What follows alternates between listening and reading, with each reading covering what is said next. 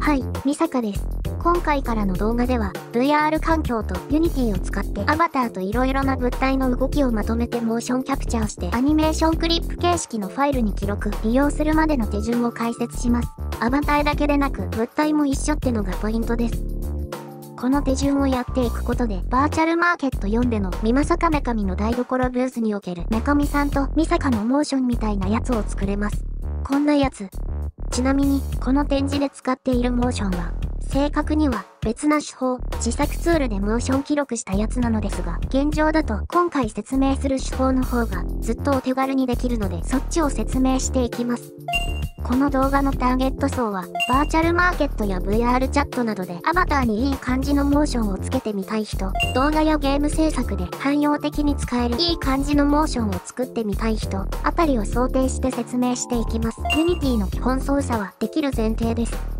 解説していく内容はこんな感じ。概要欄にも目次を書いておくので、だるくなったら好きなとこから見てください。今回はいよいよモーションのお話です。ちょっと前まではモーションは職人芸的な作業による手打ちによる制作とか高価な機器によるモーションキャプチャーとか用意するのはなかなかハードルの高い代物でした。しかし VR 機器の普及で個人でも割とお手軽にモーションキャプチャーできる環境が揃いつつあります。まだちょっとお値段は高めですけどね。しかし VR 機器がモーションキャプチャー機材として有用ってちょっと斜め上な方向に進んでしまった気もしますね。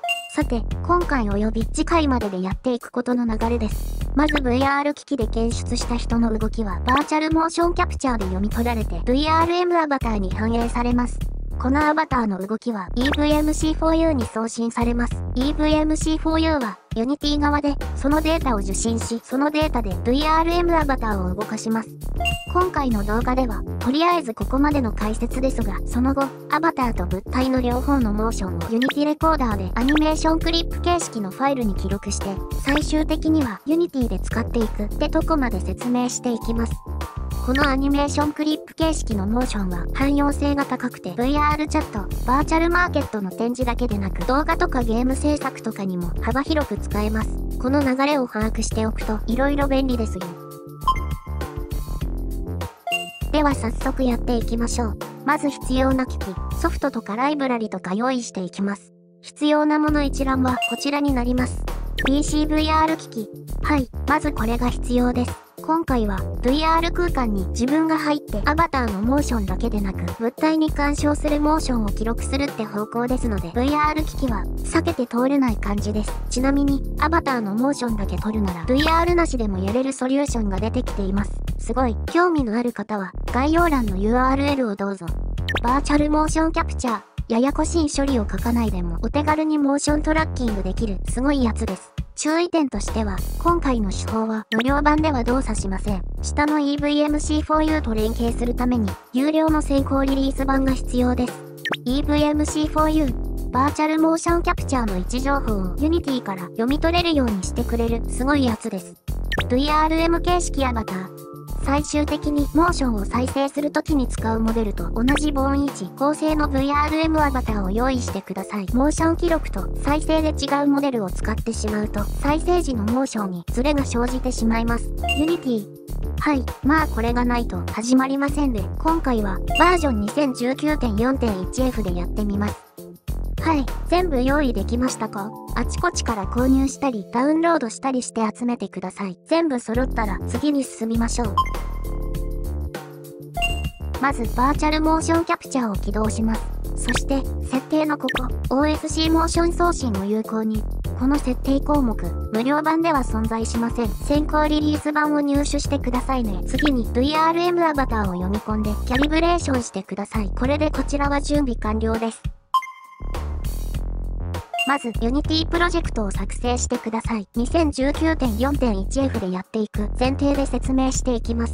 最初に、こちら、プロジェクトセッティングをちょっといじります。エディターのアセットパイプライン、モードのところをバージョン1にしてください。これやらないと、VRM が正しく読み込まれない問題が起きます。ここで、一度 Unity を終了、再度起動してください。設定が反映されます。EVMC4U を取り込んでいきます。インポート、パッケージで、はい、読み込まれました。こちらのエクスターナルレシーバーをヒエラルキーに置きます。次、アバター行きます。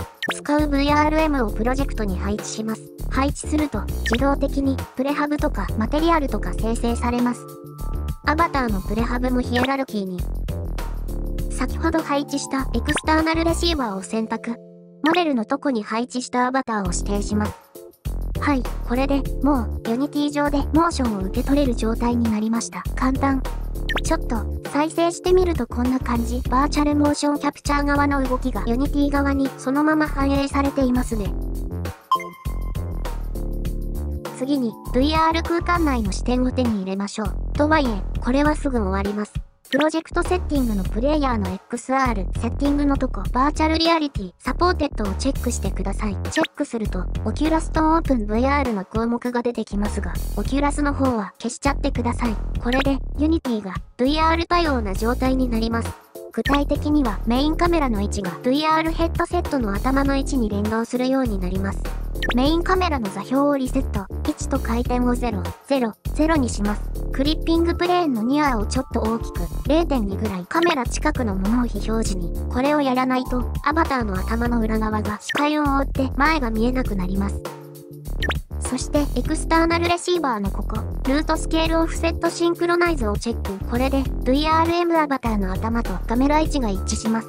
これでアバターに憑依できるようになりました。やったぜ。VR ヘッドセットをつけて再生してみましょう。下を見ると、自分の手がアバターのものに、女子小学生の気持ちになるですよ。はい、アバターの体はお楽しみいただけたでしょうか心が落ち着いたら次に進みましょう。次、物体を手で持てるようにしていきます。エクスターナルレシーバーの下のところに Assets EVMC4U サンプルスクリプツハンドキャッチのハンドキャッチを出してください。ピン、ホルド、フィルター、手に何か持った時の動き補正です。ちょっと小さくした方が動きやすいです。0.2ぐらい。スピード、マルチプライヤー、物を投げた時の速度補正です。3ぐらいに増やしましょう。シグナリングは、今回は、チェック外して OK です。今回の使い方だとエラーが出て気になるので、これで OK。これだけでコライダーがついている物体をつかめるようになります。いじれるものを何か置いてみましょう。適当にキューブ、スフィア、プレーンとか設置、位置とかサイズはお好みで、コライダーついてるものは全部つかめます。あ、地面に見立てたプレーンにもついてますね。このままだと地面を持ち上げることができてしまいます。掴みたいオブジェクト、キューブとスフィアのタグに適当なもの、例えば Catch とか指定して、 External Receiver Hand Catch の Collision Tag のところにオブジェクトに指定したタグを入れることで、特定タグのオブジェクトのみつかめる、という処理もできます。これで地面をつかみ、持ち上げる、神のようなムーブは封じられました。スフィアには、 Rigidbody をつけて物理演算させてみましょう。こんな感じに、 Use Gravity オン、 Is Kinematic はオフ。再生してみます。つかめる。リジットボディつけたスフィアは物理演算が効いていますね。リジットボディつけたものは投げたりもできます。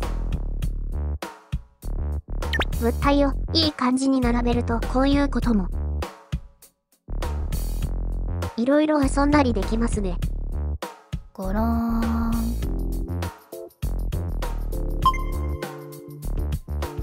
はい、VR 空間に入って物をいじれる、まできました。次回は、この空間内の物体とアバターの動きを Unity Recorder 使って記録する手順を解説していきます。ただ、ちょっと工夫とか必要だったりとか、斜め上な問題があったりとか、結構いろいろなだるい罠があります。詳細は次回。